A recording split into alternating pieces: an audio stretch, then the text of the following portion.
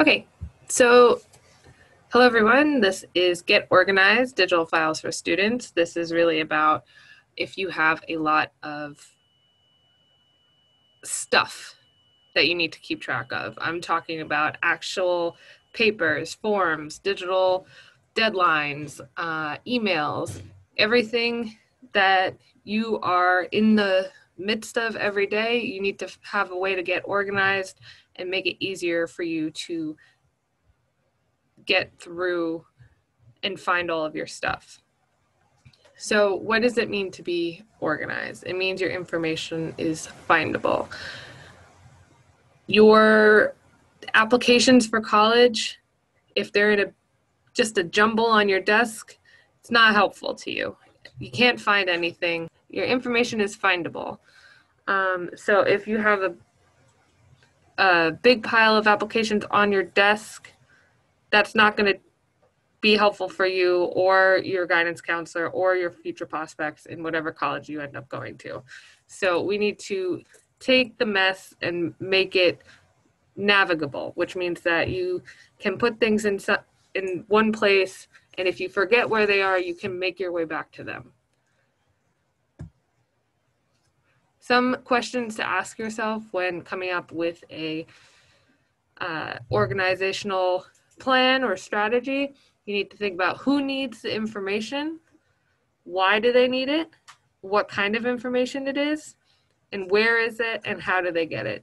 So you can make that applicable to yourself. So who needs the information? Me. Why do I need it? You can think about do I need it for school? Do I need it to apply to college? Do I need it to apply to a job? Do I need it to uh, write scholarships? What kind of information is it? Are you talking about your multiple drafts of your app- college application essay? Are you thinking about um, math worksheets in a binder somewhere? Or you have to know what it is so you know how to classify it. And then where is it and how do you get it? Um, that's the real crux of the, of the question, right? Uh, I have found in my college classes, I go back to the information page on the um, class website to download the syllabus. And when I download it, I realize that I have downloaded it 12 times in one semester. That's no good. You want to download everything that you need once and put it in a place where you know where it is so you don't have to go off in a frenzy looking for everything again. This can apply to school, this can apply to your life, this can apply to your college application process. And the how do you get it part is important as well in that you need to think about how can you access it? Is it in the cloud? Do you need internet access? If you're meeting with your guidance counselor about a college application, and your draft is in your Google Drive and then the internet cuts out, what are you going to do with your one guidance counselor session? Do you know what I mean? It's, you need to have a way to get to the information as well. If you are in the library and you need to access your common application so that you can upload items that you need and then you realize that you took the wrong flash drive how how are you going to remedy that situation? So we are going to go to the next slide. Now these are all methods or non-methods of organization. Um, you encounter it every day in a bunch of different ways. So you have you know your netflix they organized by genre or new releases or re, um, recently added, stuff like that. This uh, down here with the books, this is the Library of Congress classification system. If you don't know what that is, it might look like gibberish. So not accessible to everyone. Netflix's system, accessible to everyone, but might be a little bit confusing. You might have something in action adventure that's also a new release. When you go to look for it, are you going to look at new releases or action and adventure? Is it a bit harder to keep track of multiple things in, across multiple genres? That's up to you. This was my downloads folder from like a couple months ago. You can see here that despite there being not very much organization at all, there is a sense of organization in that anytime I downloaded something, and indeed when you download files to your computer, it goes to this downloads folder. Whether you take it out and then continue to organize it on your computer is up to you. Um, also, you can see the names don't really mean very much of anything. It's mostly copies of different things all over and over and over again. And then even your messages, those are organized in a particular way by the person that you are messaging. This I just pulled from uh, Google Photos. This is not anybody that I know, but um, with this, it used to be in a time before iMessage. Wait, when I got my first cell phone, messages just came in and were not grouped by anything. They just stacked one on top of the other. So there was no real conversation so much as just message on message on message. So obviously, by person is a very effective way to organize your messages. So we're going to the next slide. What kind of documents are you handling every day? So in your academic life or in your college search process, you have to think about what documents um, and items that you are interacting with in every situation. So if it's for school, you want to think about essays, you want to think about homework, you want to think about um, slides from slideshows from your teachers, you want to think about videos if they're sending you or you're recording different um, tutorials. If it's college application process, you want to think about your FAFSA, you want to think about your applications, you want to think about Common App, you want to think about individual applications, you want to think about the essay, you want to think about supplemental essays, you want to think about recommendations. You want to keep it all in the back of your head. But every day it could be more than just Word documents. It could be your texts and iMessages. It could be photos, you know, books on your shelf, your apps. How do you organize the app, your the apps on your phone? You know, how do you organize your emails, PDFs, videos, anything? All of that, any sort of item that you interact with digitally or physically can be organized in some way to make it easier for you to find again later. So the next thing you want to think about are where are your documents now? Now that you know that you what you have, you have to think about where are they? Are they in a mess on your desktop? Are they um, like on your computer or your devices? Are are all of your files saved to your PC? Are they saved to your home computer? Are they saved to a classroom computer? Obviously, classroom computer not really happening right now, um, but are they saved to a particular location, a local hard drive somewhere? Are they saved to the cloud? Do you have access to cloud storage? Do you need internet to access it? Have you downloaded it or saved it for offline viewing? Or are these all physical files? Are they, and by physical files, I mean papers. Is it in smushed at the bottom of your backpack? Is it in binders? Is it in your car? Is it in your locker? Um, knowing where you have stuff to organize and going there is the first step in this process. Um, and then what does it look like when you find it? Are important digital files in the downloads folder on your computer like we were looking at before. Um, this was a different point that I screenshot in my downloads folder. This tells you nothing. I don't know what was downloaded. I know that these are some Word documents, these are some PDFs, and at the top are some photos. I only know that because of the file type. I don't know what's in them. I don't know why I downloaded them when I did, or where they came from, or where they should go.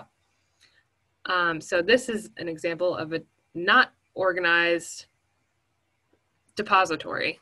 So are important digital files in the downloads file on your computer or do you have duplicates? As you can see here, master one, master two, master three. When you have a file that's been downloaded like that and they're in um, parentheses, it means you've already downloaded it before. If you've downloaded it before and in the parentheses, the number is how many times you've downloaded it before. Where is it now? Why did you keep downloading again and again? Um, do you have important stuff in here? How would you know? You can't know from these file names or this location because it all just looks the same. And it's all just physical copies stuffed in an accordion folder on your desk. That's also something, like we said before, it could be anywhere physical copies if you have papers like that. Um, so why should you get organized? So that you can find your stuff is the most important thing. Um, like the example I had at the top where I had syllabi where I would have to re I would have to go back to the class website again and again and again to re-download to check a deadline. You're losing precious time and especially at this point in the state of the world, it can derail your entire thought process and work ethic to have to go and find a particular paper amidst all your other papers and you're just spending time that you could have been spending on your actual work. You should also get organized because then you don't have to remember where you put it. If you are if you follow some of these strategies, you can puzzle out even if you don't know where you actually put it. You can puzzle it out so that you can take a best guess and it'll shave down the time finding and re-downloading and re evaluating all of your stuff. Um, and you won't find, waste time finding or redoing forms or worksheets. Redoing is also the big thing here as well, especially in the college application process. If you have a FAFSA and you started and you download it and you started filling it out on your computer and you save it, and you save it, I don't know, somewhere on your desktop in a folder that doesn't have any sort of identifier mark on it, and you come back a month later and you go to look for it, it's going to be hard to find it. And then you might have to do all that work all over again. Who wants to do that? It's a pain in the butt. We're going to get organized. I'm going to show you some strategies how to keep track of your stuff. And then one of the last things to remember before we get into strategies themselves, who's important to your files? The answer is you. So you can take any of these strategies, all of them, none of them, you have to think about what you need, what your goals are, and what you want to make your digital home space look like. Um, so a lot of these can be, these strategies can be um, retrofitted to like what, um, what is important to you and your academic and um, professional goals essentially.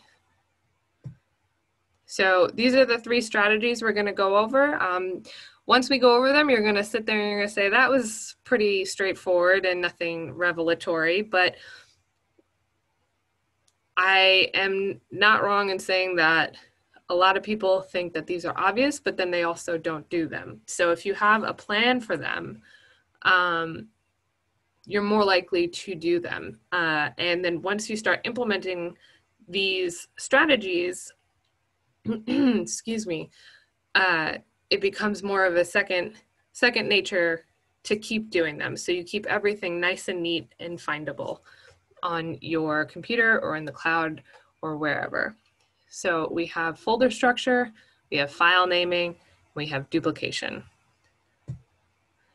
First strategy is folder structure. so when I say folder structure, um, I mean folders on your computer. That's really all that I am talking about. So the folders can be um, the small folders. Do I have a picture of them? No, of course not. Um, that sit on your desktop. You can have that come up in File Explorer. If you're looking at, say, Google Drive, you can make folders um, that nest underneath each other or sit alongside each other. Um, or you can even just have your physical folders in your backpack. It's all three are useful in their own ways. Um, but if you just have a folder here that says etc., if you have a folder here that says miscellaneous, if you have a folder here that just says English or literature or history, might not really be helpful depending on what you are doing in your um, in your own life. If you have a folder that just says college, is that helpful to you in your college application um, process? If you have a folder that says college and inside is just a mishmash of 800 downloaded files from different colleges or from the Common App, is that going to help you had it been just in your downloads folder? Might be a little bit faster, but not that much at all. So what you want to think about is creating a folder structure. So what we're going to do, the process for this is um, number one, you want to take an inventory. What do you have? So let's say you're trying to isolate all of your college application um, downloads from your download folder. First, it's going to be annoying, but you have to open every single item, or if you know from the file name already what it is, figure out where you want to put it. So you already have a folder system in place or um, how much stuff do you have? So if you only have a couple of items, like let's say the, the FAFSA form and a note from your guidance counselor, you can just have a college folder and it would just be those two items in there. That's fine. Um, but like we said before, if there's dozens of files that have nondescript names on them, then you maybe want to have different folders within the structure. So for, for me personally, I would think that if you have a college folder, um, you would click into that folder and then you'd have other folders. So you can have drafts for college essay as one, financial aid documents as two, scholarships as the third folder. Um, fourth folder can be applications that are not common apps, stuff like that. So you need to think about what you are accumulating in this process. The second thing you have to do is sort. So are any of the categories presenting themselves naturally? Naturally. So like I said, if you have a bunch of FAFSA forms, it makes a lot of sense to have a folder that's just about FAFSA. Throw them in there. How are you determining what item goes where? How does this document relate to the others? So if you have something like a scholarship essay, are you putting it in with financial aid or are you making a new folder about scholarships? It makes sense to have it in financial aid, but if you are applying to like 20 different scholarships, it might behoove you to separate them out. Um, and then how are you deciding to sort each document into each category? You got to think at the outset and then apply all of the same parameters that you are applying to the organization of one document to the rest of your documents. If you have similar documents and they end up in different places, you have to stop and think, how did they end up in those different places? Does it make sense? Or do you have to review how you are addressing each document and then reapply the new standards so that they both end up in the same place? The third is subdivide how can you break out the categories further? Can you go into things by year? Can you go into things by different schools? Are you keeping the subdivisions uniform across across verticals? And when I say a vertical, I mean the if you open up the folder structure, so you have college at the top, and let's say financial aid, and then you have 2020 21 and then 2021 2022 if you break out college applications do you also have 2021, 2022 and those verticals? That's what I mean. When it comes, when it, it's like the nesting doll, that's a vertical. Um, you don't have to keep the same subdivisions uniform. They can be different under each uh, topic or a different folder, but um, if it has similar items within the folders, it would be, I think it would behoove you to keep things uniform so that you know where things are um, if you're separating out by date. Um, and there's also, are you doing too many folders? Are you going to, are you over organizing so that you have to click and click and click and get to the end and there's one thing in one folder? Um, that's something to keep in mind. The second strategy is file naming. Um, what does file naming mean? It just means the name of every file. So you want to figure out the why. So which aspect of each file is most important to you? So what when you remember what a file is, what is it that's coming to mind? Um, so if we're talking about college applications, um, if you're looking for your Common App essay, what comes to mind? Is it the fact that it's the Common App essay? Is it the topic of your essay? Is it the date, the draft number, whatever? You have to think about what aspect of it is the most important. Um, and do you know the similar info for all of your files? So now you want to make a structure. This is something for yourself. Um, you don't have to amend it to anything else, but um, you don't want all of your files to live forever as document one, parentheses, 42, 43, 44, and so on forever, because that does not tell you what is in them. The file names tell you at a glance what's in the file. Um, usually, uh, in professional practices, it'll have a couple distinct parts separated by underscores. You don't want spaces. Um, just in case you have to move your files to a different server, a different platform, um, sometimes the spaces kind of mess up the saving, it messes up the saving of the file. So I would always keep underscores if you are trying to separate different parts of the file name.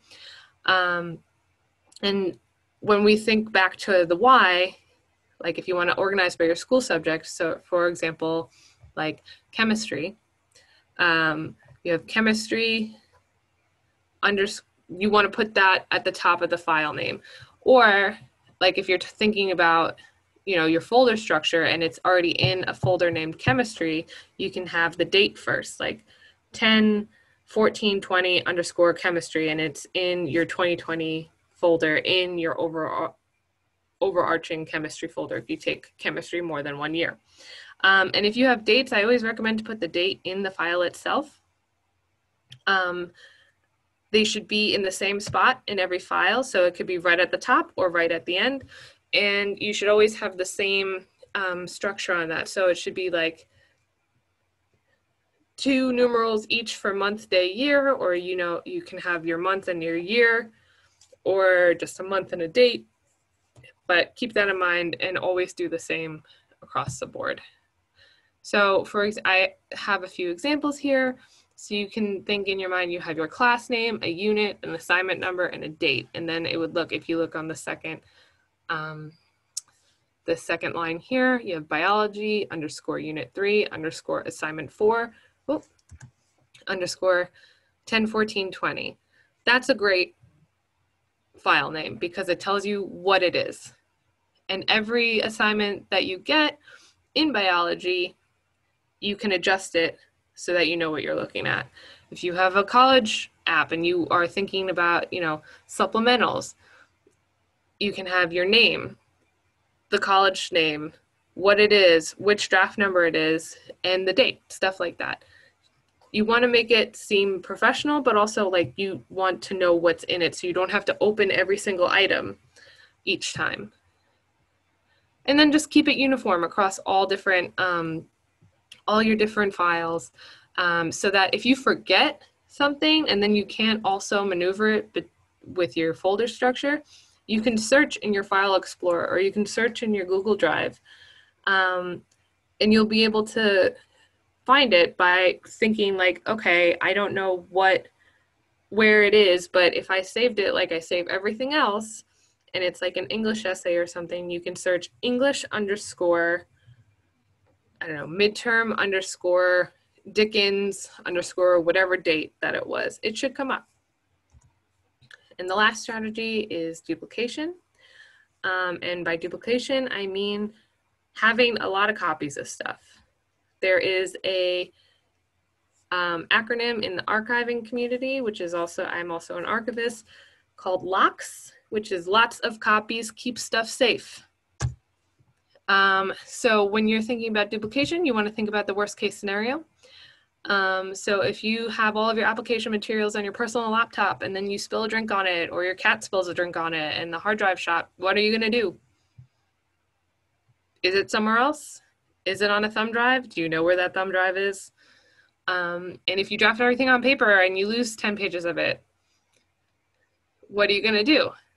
If you have a meeting with your guidance counselor and all your materials are in Google Drive and but her office is like in the deep part of a building and it's there's no internet back there and you only have the one meeting with her for like the whole month of October and you spend half of it trying to connect to the internet, that's not a good use of your time. So you want to plan for that scenario. So you want a strategy to select and then implement the duplication plan. So what items are important to have access to at all times? Um, if it's just the latest draft of an item,